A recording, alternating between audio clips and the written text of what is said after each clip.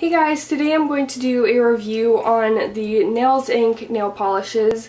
These you can purchase at some Shoppers Drug Marts, also Sephora sells these. These retail for about $12 each. Sometimes you can find them on sale. They have many different finishes, many different textures and I was fortunate enough to find these at Shoppers Drug Mart when they were getting rid of I think the whole line. So I have 16 nail polishes to show you. I got them at an amazing price so I'm definitely really happy. So I'm going to go through the eight colors that I have and then I also got eight different textures. So all my texture polishes I swatched over white nail polish. I thought that would help show them the most. Uh, you can definitely try them over any other color for sure. So it comes with 10 milliliters in each bottle, which is not very much product. That's less than Essie, less than China Glaze, less than OPI, and these cost a lot so that alone, I mean, is really important to take into account. I probably would not pay full price for these, even though some of these are absolutely beautiful polishes. I think that price is just a bit too much. Um, but I'll definitely tell you which ones are my absolute favorite that I would totally recommend trying. Alright, so I'm going to get started. I'm going to go through the colors in kind of rainbow order, how I just um, put them together on my nail wheel. So this first color is called Kensington Palace Gardens. It is a absolutely beautiful pink peach and surprisingly it was very opaque, easy to work with. Some colors like this that are more like a pastel can be really hard to work with sometimes. Sometimes they're more matte or streaky and this one I find has a really nice formula, very easy to work with. So this would be a great summer, kind of spring color, just really nice and fun, especially if you have warm undertones in your skin. I think you'd really enjoy that color. Next is like a French pink. This is South Molton Street and it is the perfect like French manicure sheer pink.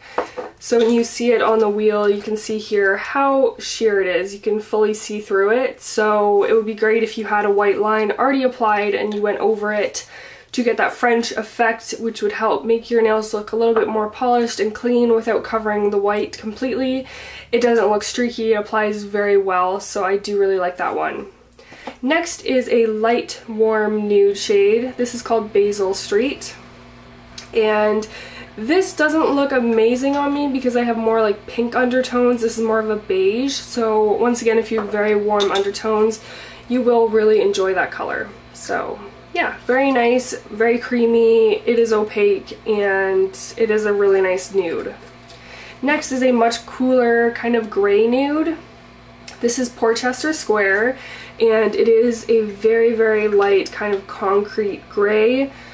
Amazing for like fall. Um, it's just a nice goes with everything kind of color and you could definitely do like accent nails or glitters over this and I think it's just really really nice.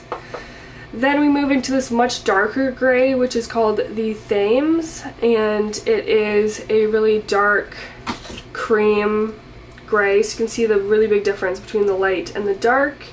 This one seems a little bit boring to me. I think that every brand would make a color like this. It doesn't stand out to me as anything that impressive, so for me, I would wear a color like that with some glitter or something just to liven it up. Okay, next is this really beautiful blue. This looks exactly like Essie's Butler Please, which the formula on that one was terrible, and I think this one has a really nice formula. It's a slightly like semi-matte finish, but it applies really nice and opaque in two coats. And that one is called Baker Street. Okay, next is this green, Queen Victoria Street, and it is a really bright green, not for the faint of heart. It's definitely leaning a little bit more on the blue side. It's really nice, cream, um, I really love the formula on this one. I don't think that many people will like this kind of color, but if you are into greens, I think it's a great one to try.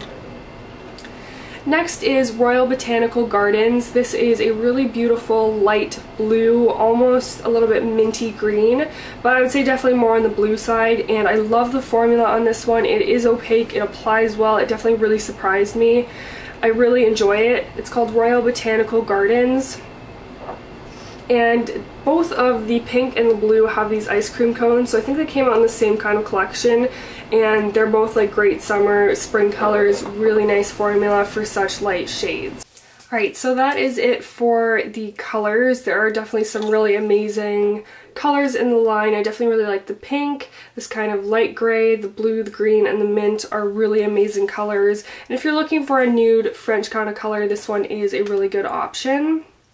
Okay, so this first glitter is actually one of my favorites. It is called Diamond Arcade. It's one of their nail jewelry polishes and I don't have anything like this. So it is a glitter in a clear base of all like holographic pieces. So there are like small circles and um, chunks, but then they actually have like pieces that are cut like jaggedy glass or something and they all reflect the rainbow. So it's absolutely beautiful, easy to apply. You could wear this over any color. I have it right now over uh, Masquerade, which is a shellac shade, but just as an accent nail, I think it brings so much fun to your manicure. So really, really like that one.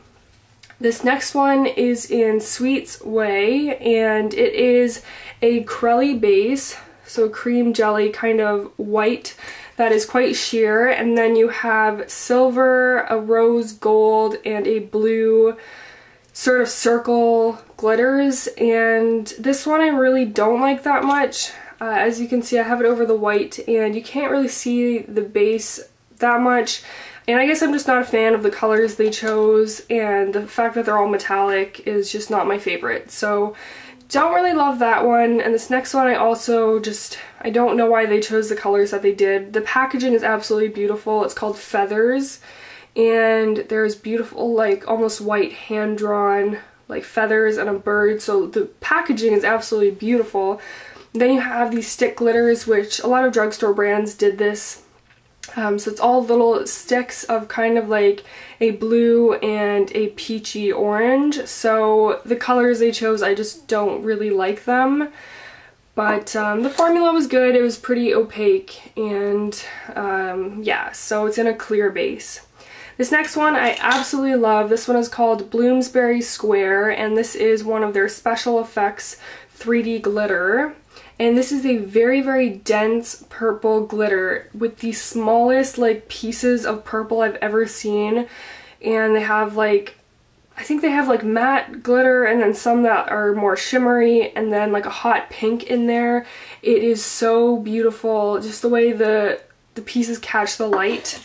So I have this over the white and you can imagine that if you did two coats it would definitely be very opaque. I don't have any other polish like that and just the fact that like I can't even see how small these pieces are is just crazy. It's really beautiful. And this one is also one of their 3D glitters in Marylebone. I don't know how to say that, but this is like a silver and pink and hot pink, really dense, really small glitter once again. And this is just like a disco ball. It's really, really nice, really dense, really fun colors. So the two 3D glitters I think are really fun if you're looking for something like that. And this next one is just a regular glitter. It's called Chelsea Square and this is a clear base with tons of like a rose gold pink kind of um, glitter. So it's just the one color all throughout and I think that's what kind of puts it apart from the 3D glitters. So you can tell the difference between those two. Okay, so this next one, as I said, I put all these over white, so you can definitely see that this is in a Crelly base once again. And this has like a deep navy blue glitter and then like gold glitter in that kind of blue base. It's called Pudding Lane. And this one you definitely have to mix up before you apply it to try to make the base color pretty like even. This one's okay. I think it's one of my first ever like really like this with a colored base in it but I don't like the colors really that they chose and I find the blue appears a little uneven so definitely mix that up well before you use it. Next is this graffiti glitter in Old Street which is a really fun glitter. This would be great for Christmas. If you did like green nails and then this is like a Christmas tree, it would be really fun. So you've got like red, gold, green, blue, like little like hexes and tiny little pieces and also sticks. So it's a really, really fun, fun glitter that you could wear for Christmas, New Year's, anything like that over any kind of holiday color. I think it's a really fun, really nice and opaque glitter.